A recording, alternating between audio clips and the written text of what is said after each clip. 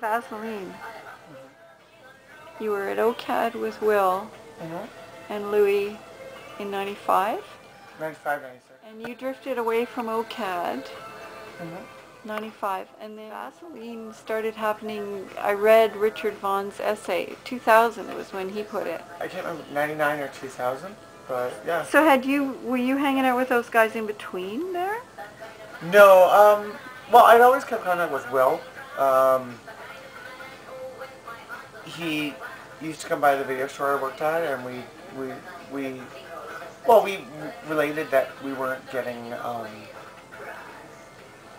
represented or had venues to go something to do. And Buddies had an alternative gay night in the mid '90s, and that had started to dwindle and die. So there was um, there was a real need for something that wasn't circuit party dance music for gay, queer, lesbian. Also, we wanted a less male-centric, something that was more inclusive of all genders and and. But we just used to bitch and sit around and bitch and go, "There's nowhere to go," and blah. blah. But he actually started uh, to do these nights, which was at the Elmo, which I thought not. It's usually very centered around the village at that time. And the first one was just um, a very almost. It was just a group of people that, um, for the most part, I saw a lot of faces that I knew already, so it was a little collective of people. It started to just really burgeon and grow and word of mouth. That was before a lot of social media too, like, like internet. But, Yeah. well, email was going on, but it didn't have like Facebook or Twitter. It was more just word of mouth. It was like, actually "Oh, I went to this night and it's really great and I like the music and you should too and it grew and grew and grew. So. From yeah, El Mocambo, and then it was went to um, Lee's Palace. Lee's Palace. I, I, I worked. Um, I did go-go dancing and uh, worked the door for a couple of shame events. Um, but no, I wasn't performing in drag. I was. Go-go But dancing. the impression I got is like everybody was performing. Yeah, but I wasn't Jenna Syde. I wasn't performing. As, well, yeah, like part of a scene, part of a tapestry, part of. And then that went till 2006. So when was the first like Jenna Syde performance?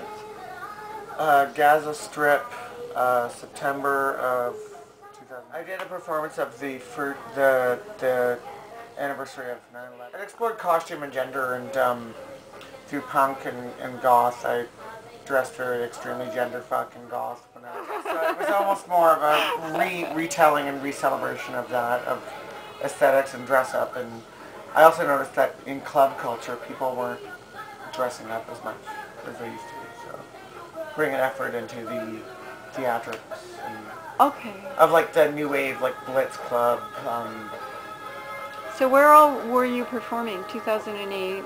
So there was um, Gaza Strip. Where else were you performing?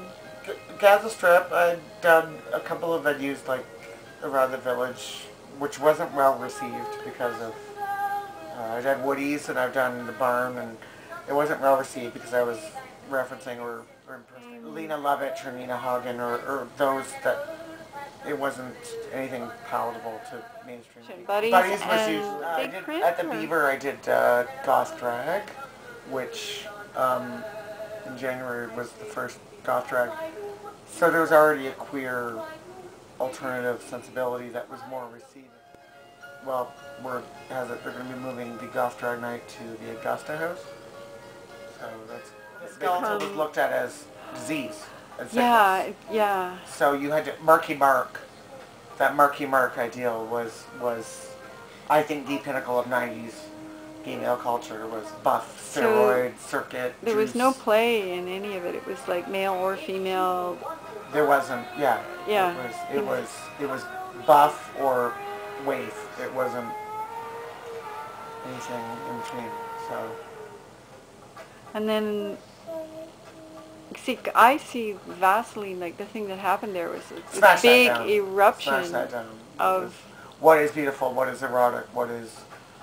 Yeah. but it was like a big eruption then of the play. and gender play. Of the play. Gender play was allowed to wigs, costumes, lipstick, eyeshadow, glitter, a reversion to glam rock, almost the Bowie, the the T reference. Yes. So Okay, I didn't have the connection with glam rock. But glam That- rock was, yeah, Yeah. there was a real resurgence to that. Okay, okay. And then it went into more like Klaus Nomi and So how are we doing now? I mean, I've been hibernating a lot in the winter, but I mean, how do you feel about it? Is it anywhere right now? Uh, it's such a, a, blender of everything, right? What I talked about earlier, everything and nothing. There's almost too much to choose from that.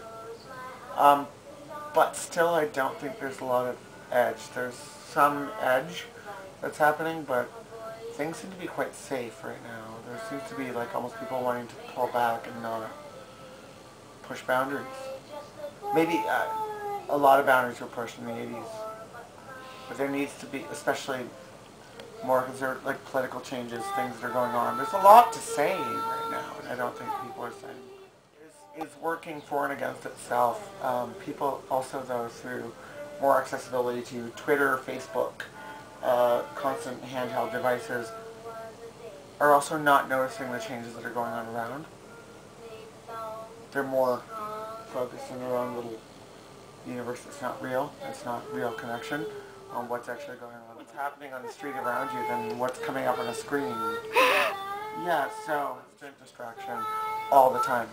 There was a man that collapsed on a streetcar a couple of weeks ago, and everyone was more upset that they were going to miss work and they were on their handheld more than they were concerned about how that man's health was doing. And that spoke volumes to me about the state of the world. Or social, social, um, sensitivity. Oh, thank, oh, thank, oh, thank